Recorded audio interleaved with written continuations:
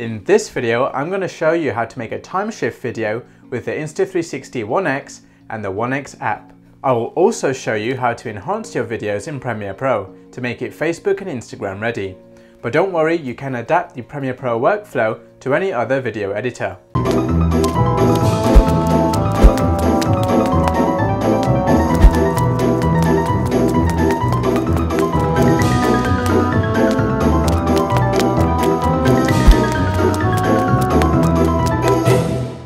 So let's get started. Make sure you downloaded your footage to your phone and tap the footage you want to edit. This particular footage was shot on 5.7K 30 frames per second video in auto mode. I would recommend using manual mode if you know how to use it.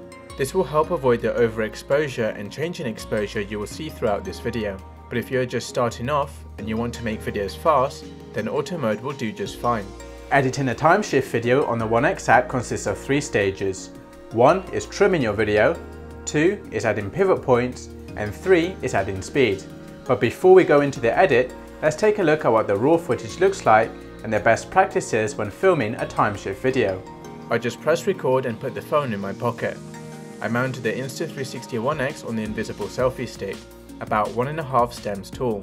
Normally I would extend the selfie stick higher, but this place had low ceilings. I'm trying to walk as slowly and steadily as possible, making smooth turns when I approach a corner. Sometimes you will get lines on the ground which are really handy because this will make sure you are walking really smoothly. I am constantly thinking about where to walk next and I try to pick a route where there is the least amount of people. Now I am approaching the narrowest building in Valencia. You can see there is a big group of people in the centre. The last thing I want to do is sharp turns around people because this will ruin the fluid motion of the video. Your time shift videos will look effortless when you try and walk in a smooth line as much as possible. Again, I am using the lines on the ground to help me keep a smooth line. And I'm using a route where there is no people on my way. See how I turn corners in a smooth circular motion, opposed to just turning 90 degrees. Again, you can see the tiles on the ground act as lines to help you walk in a straight line and now I am on the home straight to the fountain. I like to end the video on something visually interesting to look at, and I just hold it there for a second. So that's what the raw footage looks like. Let's begin editing our timeshift video on the One X app. The first step is to trim the footage, so go to Edit and tap Trim. Drag your footage left to trim the start of the video. I will start the video when I begin walking. Then tap this button to trim the footage from the end of the video. Drag the footage right and I will end the video when I stop at the fountain. Tap the tick to confirm. To save your edit so far, just tap the back button and then tap back into your footage again to continue editing. I recommend that you save your work every 5 minutes, just in case your phone crashes. The next step is to add pivot points. And pivot points is basically telling the software where to look in your video and at what time. In between the pivot points, the software is working out how to transition from the previous pivot point to the next pivot point automatically. To add a pivot point, hold your finger down on the screen where you want your viewers to look, in this case the fountain, and select pivot point. I'm going to scroll forward just before I begin to turn this first corner. There is a rule for adding pivot points on corners. You never add a pivot point during a corner. You only add pivot points before or after a corner. The reason is the software will automatically work out how to turn the corner as smoothly as possible using the before and after points. So I add a pivot point here before the corner. And I'll scroll forward just after I turn the corner. I want to keep this path in the center and follow it, and add a pivot point here. If you're not happy with where you tapped your pivot point, just tap anywhere else on the screen to try again. I am going to scroll forward just before I turn this corner now. And add a pivot point. I will then scroll forward just after I turn this corner and add a pivot point focusing on the fountain. Your video just needs to focus on a few things because when you speed up the video, People need to be able to digest what is going on and where they should be looking. You can imagine how annoying it is when the video is really fast, pointing at different things and you just cannot understand what is going on. So in this video, focusing on the path, the fountain and the narrowest building in Valencia is enough for the viewer to enjoy the video. I'm going to scroll forward just before I begin walking around the fountain and add a pivot point here. When you need to move around something and you're really close, you need to add more pivot points so the footage turns out more smoothly. I'm going to add pivot points every few seconds around this fountain. And I am trying to add pivot points at the same position as the previous pivot points on the fountain to keep the footage smooth and stable. I cannot add any more pivot points on the fountain now because I come into the shot. I'll focus on where I am heading and add a pivot point here.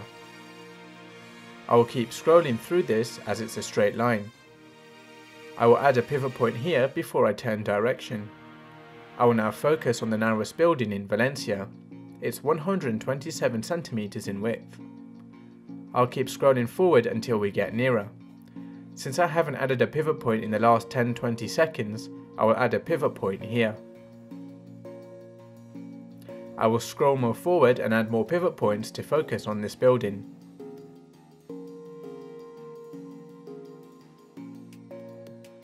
And before I turn away from the narrowest building to the path I am following, I just want to focus on this church. So I will add a pivot point here. Now I'm going to focus on the path that I am following. I'll add a pivot point just after this corner. I'm going to scroll backwards and tap play just to check that the turn looks okay. And that looks fine to me. I'll add a pivot point here just before I turn into this street on the right. Add a pivot point here after I turn the corner. Let's double check that turn looks okay.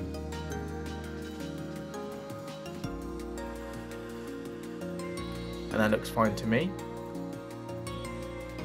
I will scroll forward since this is all straight. I will add a pivot point here as I am about to slightly change direction and add another pivot point on the fountain. Scroll all the way to the end and add another pivot point here. Okay, so that's all the pivot points added. Tap back to save and tap the footage again to open it. The third and final step on the One X app is to add speed. Go to edit and tap speed. I will leave the first second as normal video. This gives your viewers time to understand where you are. Position the yellow line where you want to add speed from this footage is pretty short so I will use 8 times speed. Drag the footage left and keep scrolling until where you want to apply the speed to. I will stop here when I get close to the fountain because I want the fountain to be normal speed for a second so the viewers can see it properly. Tap the tick here to confirm the 8 times speed. I will scroll 1 second later, leave it as normal video, then tap 8 times speed again, drag it all the way until I reach the narrowest building in Valencia. If you need to delete the speed, just tap on the red bar and a trash can icon will appear. Tap on the red bar again and it will be deleted. Tap tick to confirm the 8 times speed. Again I will scroll 1 second later. It will give the viewers a split moment to see the narrowest building. And then tap the 8 times speed to continue the time shift all the way to the end of the video. And I will leave the last second as normal video. Tap tick to confirm and tap back to save your edit and open it up again. This time shift is now ready to be exported. If you want, you can export it as a 1x1 for Facebook and Instagram, or a 16x9 for YouTube, or a 9x16 for Facebook and Instagram stories. I'm going to choose 9x16 because I'm going to resize this 9x16 video into a 4x5 aspect ratio in Premiere Pro. Tap here to export, select local, here you'll see a preview of your video. However, it's not in real-time preview since phones are not powerful enough to show you the time shift effect before you export. So tap export and wait for the video to render to see what it will actually look like. The rendered video looks like this.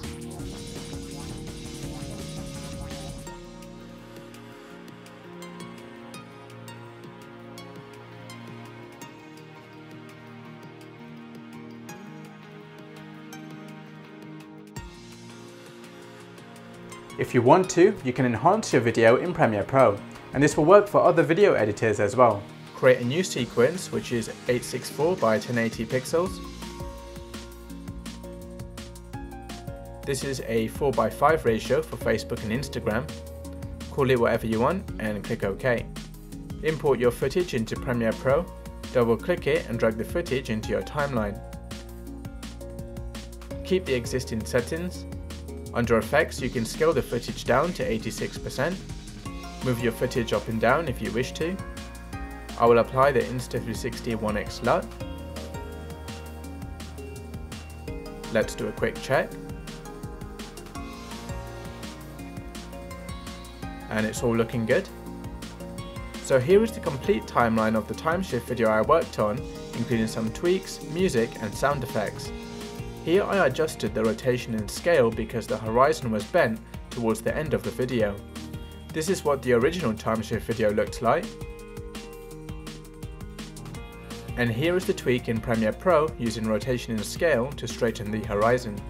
You can add free music from YouTube Audio Library. There are dozens of tracks to pick from. And you can download free sound effects from freesound.org, like the footsteps, the whooshes and swooshes. To export your video, go to File, Export, Media, choose a folder to export to, make sure the width is set to 864 and the height is set to 1080, change bitrate encoding to VBR2 pass, and set the target and maximum bitrate to 16 megabits per second. Click export, wait for your video to render, and you can now view your final timeshift video.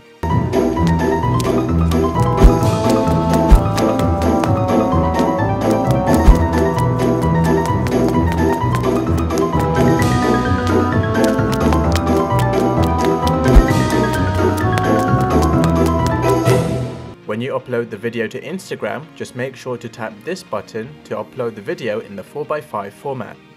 And continue to upload as normal. That's it, you now know how to make a timeshift video with the Insta360 One X. Don't forget to share your creations on the How to Make a Video Facebook community. The link is in the description.